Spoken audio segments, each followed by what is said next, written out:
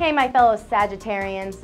Whatever you say to coworkers, just know that they will look at you with glazed eyes and give you a dumb smile. You're dealing with a bunch of airheads. Or is it you? I'm not sure. This cosmic sky forecast is so damn fuzzy. Maybe the entire world is in a fog and no one can see, think, or say anything that makes sense. Save all the important conversations for tomorrow. Today, go rent Dumb and Dumber and have a good laugh. You'll relate.